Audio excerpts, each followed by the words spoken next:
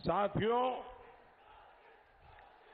जब देश असुरक्षित रहेगा, आतंकवादियों के निशाने पर रहेगा तो विकास कैसे होगा?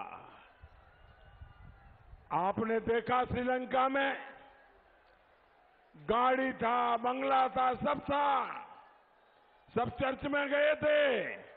लेकिन लौट करके वापस नहीं आए आतंकवाद ने सब तबाह कर दिया। जौनपुर का क्या उस दिन को भूल सकता है? जब श्रमजीवी एक्सप्रेस में धमाका हुआ था, एक दर्जन से अधिक मासूम रेल यात्रियों को अपनी जान से हाथ धोना पड़ा था।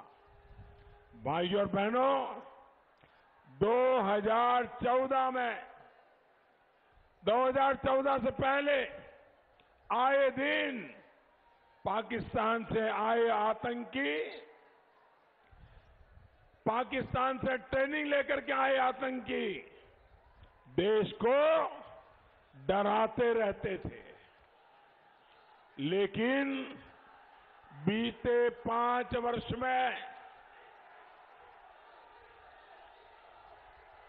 देश को दहलाने वाले ये लोग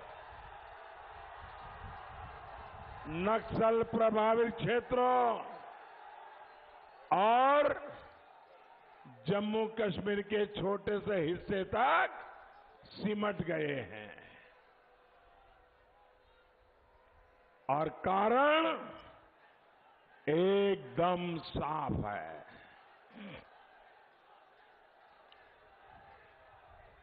भाइयों बहनों, आप मुझे बताइए 2014 के पहले धमाके होते थे, निर्दोष लोग मरते थे 2014 के बाद ये सब बंद क्यों हुआ?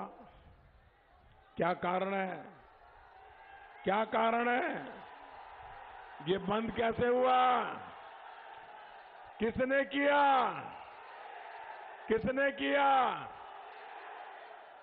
आपका जवाब गलत है। मोदी ने नहीं किया। ये तो आपके एक वोट ने किया है, आपके एक वोट ने। ये आपके वोट की ताकत है कि देश आतंकवाद के सामने आज लड़ाई लड़ रहा है। मज़बूत सरकार बनी है। भाइयों बहनों, आज हमारे सपूत पाकिस्तान में घुस करके आतंकियों को मारते हैं। एक घुस करके मारना ठीक है नहीं है। घुस करके मारना चाहिए कि नहीं मारना चाहिए। आतंकवाद जहाँ से आता है, वहीं हमला बोलना चाहिए नहीं बोलना चाहिए। बोलना चाहिए। इतना ही नहीं, देश के भीतर छुपे गद्दारों को मत और पंथ से ऊपर उठकर सजा दी जा रही है। यही नीति हमारी है, जिसके बल पर हमने आतंकवाद और नक्सलवाद को खत्म करने का संकल्प लिया है। तभी देश इस चौकीदार पर भरोसा करता है।